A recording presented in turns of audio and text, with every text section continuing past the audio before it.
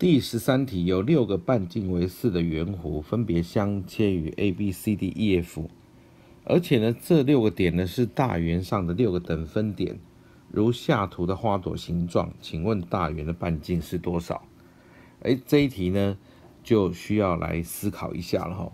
首先呢，我们把这个花朵的形状先把它放大。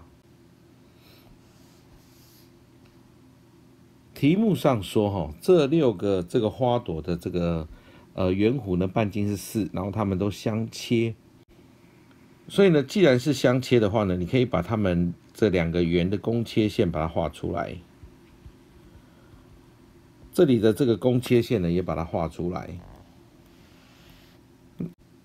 那这时候呢，我们就知道这个焦点呢其实就是大圆的一个圆心。那它题目呢要求大圆的一个半径，大圆半径就是这个 OA。它题目要求这个 O A 或者是 O F，好，我们再把小圆的这个半小圆的圆心把它标出来，小圆圆心在这个地方，圆心呢跟切点呢它是会垂直的，这边会垂直，这里也是会垂直，好，你就会形成一个绿色的这个形状，绿色这个形状，我们假设小圆这个圆心呢，假设它呃叫做这个 P 点好了。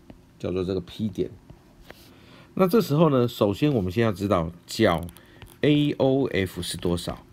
这个角 AOF 呢，它其实是这个圆心角大圆的圆心角。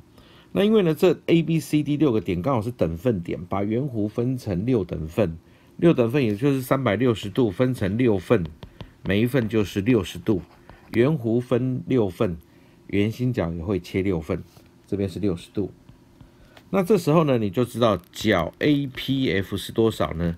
角 APF 就三百六十减掉九十减掉九十减掉六十等于一百二十度，这里是一百二十度。好，这里是一百二十度。那现在呢，我们知道哈，他说呢，这个小圆的半径是四，也就是 PA 呢跟这个 PF 呢都是四，都是四。那现在呢，要求 OA，那怎么办呢？我们先把 OP 连接起来，先把 OP 连接起来。OP 连接起来呢，你就可以发现，这个蓝色的这个呢，它其实是一个直角三角形。那它是哪一种直角三角形？它是一个很特殊的直角三角形。它的三个角呢，刚好是三十度、六十度跟九十度。我把它画在这个地方，你就会很清楚。三角形 OAP，我把它画在这里。这边是 O，这里是 A，它是垂直。那 P 呢是比较小圆的圆心。那这边呢刚好形成一个三十度、六十度、九十度的一个直角三角形。PA 是四，那现在要求 OA 是多少？